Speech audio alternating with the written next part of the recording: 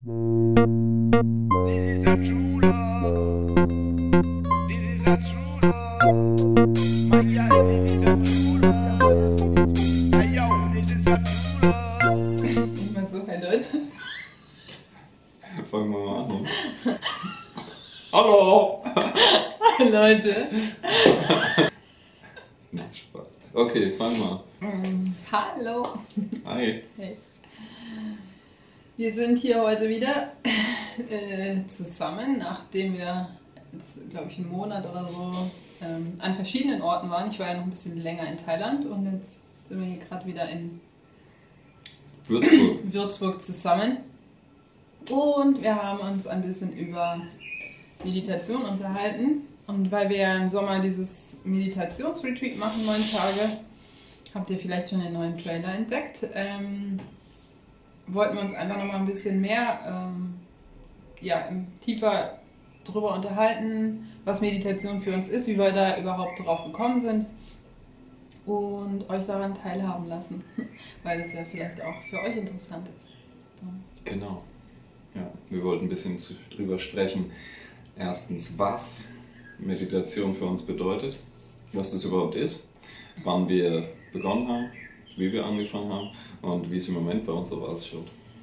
Genau. Und wie hat es bei dir angefangen, Tom?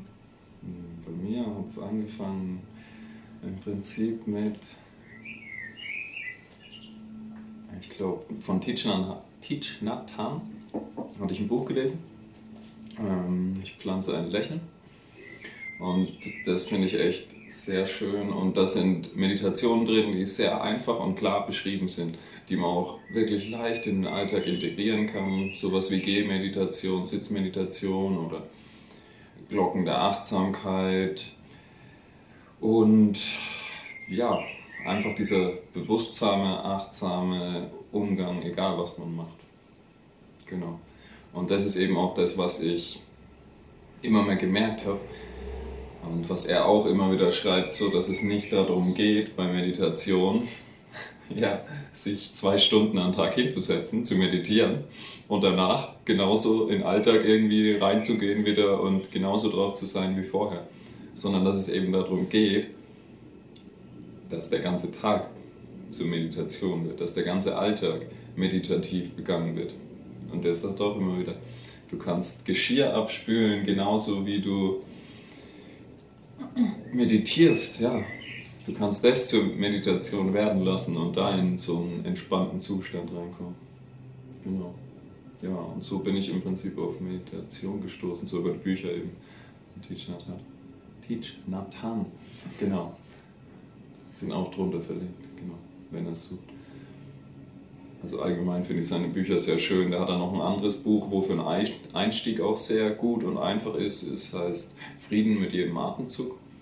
Und die sind wirklich schön einfach geschrieben. Da geht es nicht so sehr in die Theorie rein. Der hat noch noch andere Bücher, wo er dann auch mehr in diese buddhistische Psychologie reingeht. Genau. Ja. Und bei dir? Wie war es bei dir? Wie bist du so? Ich wollte erst noch kurz zu dem, was du gesagt hast, ähm, mit dem, dass man zwei Stunden am Tag meditiert und dann irgendwie danach einfach so weitermacht, weil ich möchte, äh, oder, oder ich habe einfach gemerkt, weil ich bin noch so jemand, der dann irgendwie Gehmeditation macht und, äh, und auch mich noch hinsetze und meditiere und ich habe gemerkt, danach geht es nicht einfach so weiter. Also so, dein Alltag wird nicht nicht gleich so weitergehen, wie wenn du nicht meditieren würdest, weil ich bin dann einfach auf einem anderen Achtsamkeitslevel und äh, bin dann automatisch sozusagen, also wird dann der Alltag immer mehr zur Achtsamkeit. Und das, was du, finde ich, gerade am Anfang, ähm, wo du halt, also so hat es zumindest bei mir begonnen, ich bin mit 19 nach Indien und war dann da in so Ashrams von Lehrern. Ähm, Ashrams sind quasi wie so Schulen, das sind so spirituelle Schulen, wo man halt zum Beispiel meditieren lernen kann oder wo einem das gezeigt wird, wo, was da, also wie das funktioniert. Und da habe ich das quasi kennengelernt und ausprobiert und halt ganz klassischerweise ähm, im Sitzen. So, ne? Sitzmeditation ist, glaube ich, das, wo die meisten Menschen am Anfang mit in Berührung kommen. Ne? Und irgendwann merkt man dann, ach so, äh, es kann ja auch, es gibt ja auch noch Gehmeditation oder äh, auf Gegenst dass man mit Gegenständen meditiert oder dass man beim Abwaschen meditiert oder so. Ja. Ne? Das kommt ja dann alles, also da entfaltet sich ja so eine Ja, ganze Welt sozusagen. ja. Und da ist halt auch die Frage, wie man Meditation definiert, was überhaupt für eine Meditation ist. Mhm.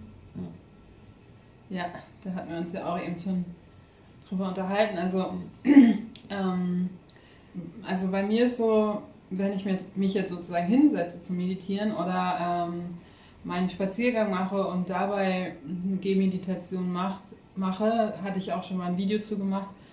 Hm, Ich sag's nur mal ganz kurz. Also das ähm, habe ich auch durch, äh, durch dich kennengelernt, die Gehmeditation, wo du halt bei jedem Schritt so, ich bin angekommen, ich bin zu Hause, diesen Satz sagst Ja. und dabei lächelst.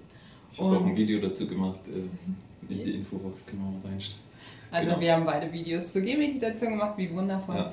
Und ähm, genau, und da einfach dabei zu lächeln und wo wollte ich jetzt damit hin? Achso, was Meditation für mich ist. Genau. Und einfach, da geht es für mich darum, in den Moment zu kommen und in die Achtsamkeit, weil ich mache irgendwie fünf Schritte und dann merke ich wieder, wie meine Gedanken irgendwohin abgeglitten sind. Und dann komme ich halt wieder zurück zu dem Satz, ich bin zu Hause, ich bin angekommen und mache das bei jedem Schritt. Dann gehen meine Gedanken wieder weg und, und ich, ich kriege das aber jedes Mal dann irgendwann wieder mit und komme dann wieder zu dem Satz quasi zurück. Und es geht einfach darum, äh, in den Moment anzukommen, achtsam das zu sein und die Gedanken zu beobachten dabei, so ne, was da passiert und einfach nicht einfach manchmal ganz schön schwierig, aber halt so nicht auf die Gedanken einzusteigen, sondern sie wirklich so aus einer Distanz irgendwie zu beobachten. Ja, ich glaube, das ist das, was mir jetzt als erstes einfällt. Wie ist es bei dir? Hast du Ja. Ja, also ähnlich. Für mich geht es bei Meditation halt einfach darum, dass du Achtsamkeit entwickelst und in den Moment kommst, also ins Sein zu kommen.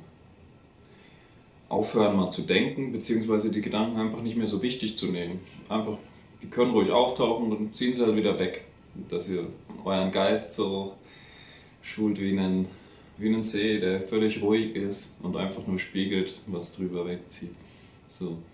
Und dann eine gewisse Distanz zu bekommen, beziehungsweise halt wirklich immer mehr in dieses Sein zu kommen. Weil meistens ist es ja so, man sitzt da und der Verstand projiziert auf irgendwas, was in der Vergangenheit war, auf irgendeinen Streit, den du gestern mit deiner Freundin hattest oder auf morgen, dass du morgen nicht weißt, wovon du leben sollst oder in einem Monat, weil du kein Geld hast oder all diese Dinge. Einfach dich wieder in die Situation jetzt zu holen und dadurch auch wieder zu einer Gelassenheit kommst und siehst, was gerade da ist und einfach in diesem Sein aufgehen kannst, so im Moment wieder reinkommen kannst. Weil wenn man ehrlich ist, so wenn man gerade jetzt in diesem Augenblick, wo ihr jetzt so da sitzt, was ist da schlecht? Was ist falsch dran? Man ist einfach nur im Sein. Also, wenn jetzt gerade was schlecht ist, dann ist es wieder nur, weil ihr, wie gesagt, auf die Zukunft projiziert oder irgendwas aus der Vergangenheit, was euch gerade genervt hat. Schaut euch jetzt mal im Zimmer um oder wo ihr gerade seid oder draußen. Was ist denn schlecht, wie es gerade jetzt so ist?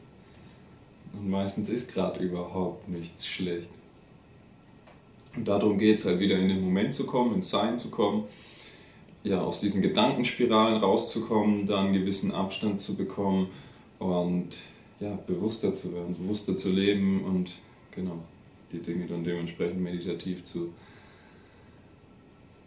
begehen, Hm. durchzuführen.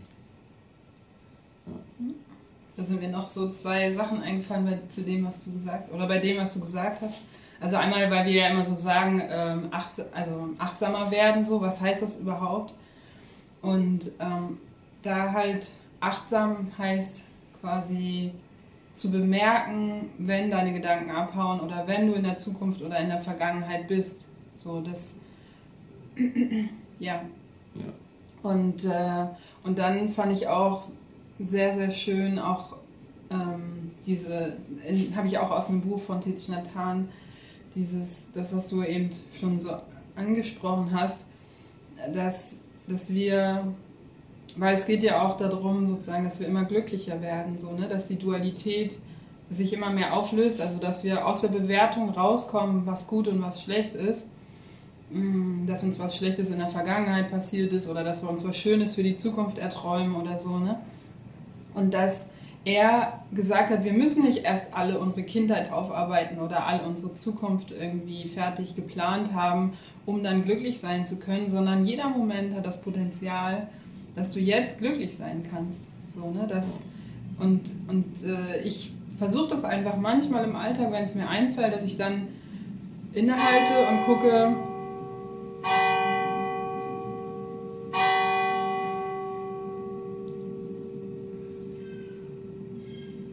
dass ich innehalte und sehr passend ähm, und schaue, okay, warum kann ich jetzt in diesem Moment glücklich sein? Also was, äh, was ist, jeder Moment hat das Potenzial dazu und ich kann mich darauf besinnen. So, also ich kann mich jetzt darüber freuen, dass ich mit dir hier sitze und wir dieses schöne Video machen und die frohe Botschaft verkünden und ja, mhm.